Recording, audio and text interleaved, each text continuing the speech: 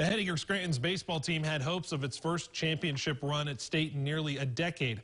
Now it's their pitching staff that has to learn how to handle a curveball from life. Our Luke Gamble has the story. Hettinger Scranton's last baseball season ended with unfinished business. A third place finish in the region was short of the team's expectations, and this year their goal was to prove that. We're the best team in the region. That's what I believe. And you know, going into that, you kind of have to think that to, to be a top team in the region. But I I firmly believe that we would have been region champs. The Nighthawks four seniors set the bar high, and the pitching staff put the pressure on themselves to succeed. We're like the kickstarters to our team. We're the ones who go out on the mound first in the home games, and we really just get the team rolling. We set the attitude of our team quickly and goes from there. There's not much to a team if you don't have a great pitching staff. Because it always starts with the pitcher. He's the first one with the ball.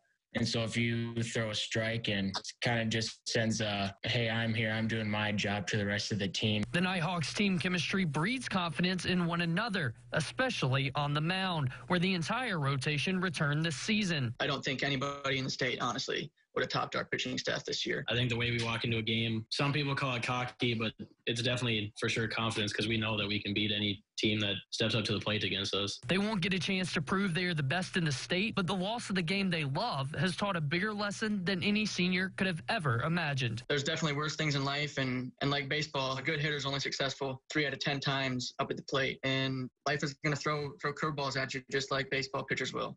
And so I think you just take something like this and, and you learn from it. You make a positive out of the negative. Reporting in Hettinger, Luke Gamble, KX Sports. The Nighthawks' last state tournament appearance, 2011. What a good attitude.